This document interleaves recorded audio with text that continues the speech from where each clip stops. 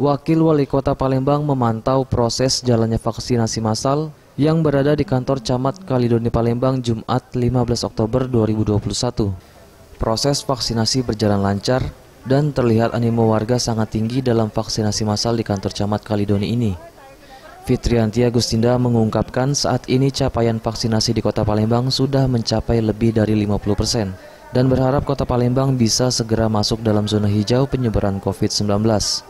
Hal ini tidak terlepas dari kesadaran dari warga yang meningkat akan pentingnya vaksinasi.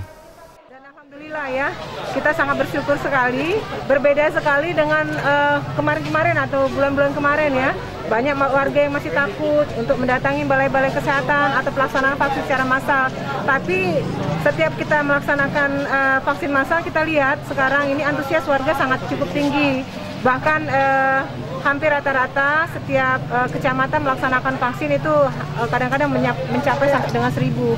Ini membuktikan kesadaran dari masyarakat sudah sangat tinggi dan harapan kita tentu nantinya kita betul-betul bisa melewati masa-masa sulit ini pandemi COVID-19 ini menjadi zona hijau. Karena sekarang memang kita masih zona kuning level 2, tapi tidak menutup kemungkinan saya sangat berkeyakinan sekali Pak ya bahwa nantinya kalau pelaksana vaksinasi ini betul-betul uh, disadari oleh warga untuk menjaga kesehatan dan juga melindungi orang-orang yang lain, saya yakin mungkin uh, dalam waktu dekat kita sudah zona hijau. Karena mengingat juga sekarang pencapaian kita sudah 50% ke atas. Jadi target kita sampai dengan akhir bulan Oktober mungkin insya Allah 70%. Bahkan sampai dengan akhir tahun kita berharap sampai dengan 100, uh, 100%. Sementara itu Rama Cahya Putra Camat Kalidoni mengungkapkan, Vaksinasi massal di kantor Camat Kalidoni ini akan berlangsung selama tujuh hari terhitung sejak tanggal 12 Oktober tanggal 19 Oktober 2021.